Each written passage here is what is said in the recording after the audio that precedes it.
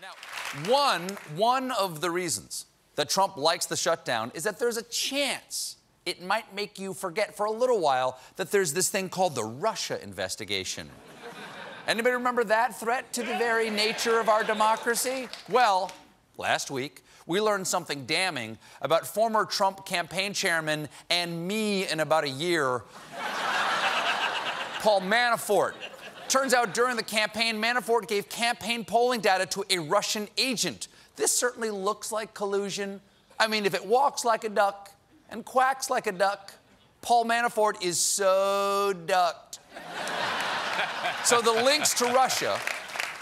So the links to Russia are wrapping around Trump like a boa constrictor around a Florida grandpa. But there are. He was sleeping in the sun.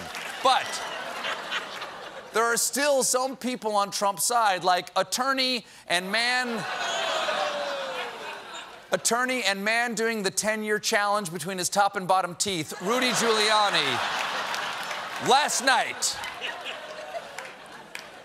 last night, Rudy went on the Chris Cuomo Showmo, where he was asked about Paul Manafort's shady dealings. Now you have Paul Manafort giving poll data I, I that winds said, up leading to this coincidence. Well, you just misstated my position. I never said there was no collusion between the campaign.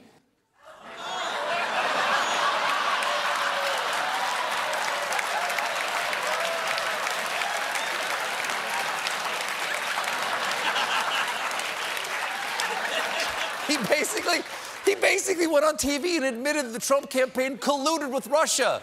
That is so shocking. You saw it. He shocked himself when he heard him say it.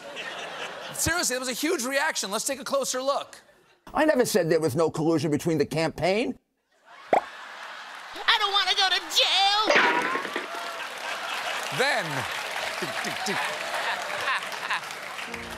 then Giuliani drew a distinction between the Trump campaign and the head of the Trump campaign. There is not a single bit of evidence the President of the United States committed the only crime you could commit here, conspired with the Russians to hack the DNC. Yes, there is zero evidence that Donald Trump reached out to Russia. Russia, if you're listening, I hope you're able to find the 30,000 emails that are missing. Obviously, he was joking, if Russia was listening. now, that looks bad, but only if we're going to start counting evidence as proof.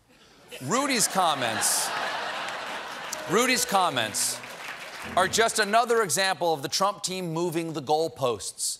In November of 2016, Trump spokesperson Hope Hicks said of collusion with Russia, it never happened. There was no communication between the campaign and any foreign entity during the campaign. But in February 2017, Sarah Huckabee Sanders added, to the best of our knowledge, no contacts took place. To the best of their knowledge. They could have just taken a lot of Ambien and committed sleep treason. then, in March, Don Jr. was all, Did I meet with people that were Russian? I'm sure, I'm sure I did, but none of that were set up. Yeah, he colluded accidentally. You hang out in Trump Tower long enough, you're gonna ride the elevator with a felony. then he admitted the meeting was a setup. Then he admitted the meeting was a setup, but claimed it was for Russian adoption and said it was okay because they exchanged no meaningful information. Now, that I believe. I've heard Don Jr. speak. then, in December of 2017, President Trump said, There is no collusion, and even if there was, it's not a crime. He just moved the goalposts to a whole different sport. It's a hole in touchdown. You're out. and there's breaking news about former Trump lawyer and man whose smile is somehow sadder than his frown. Wow. wow. Michael Cohen. Cohen has already been sentenced to three years in prison for being Trump's porn star bagman. But this morning we learned that he also tried to rig online polls in Trump's favor prior to the presidential campaign. It almost worked, but Trump refused to change his name to Boaty McBoatface. Apparently, to rig the polls, Cohen hired a consulting firm and was billed $50,000.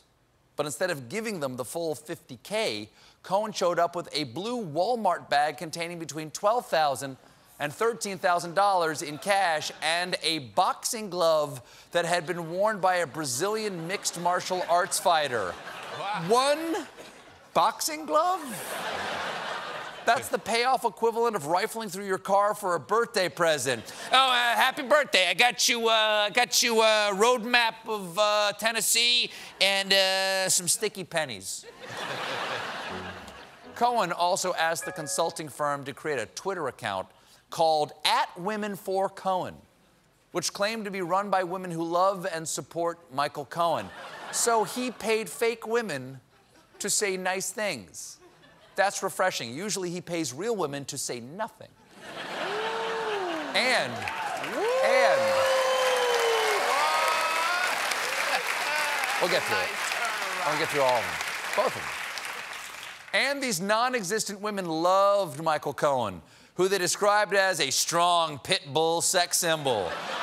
Sounds like someone has the hots for Michael Cohen, and it's Michael Cohen. Then there, there's this tweet Never too late for hashtag Man Crush Monday and a hashtag selfie. Okay, you can't say it's never too late, then provide photographic proof that it is, in fact, far too late.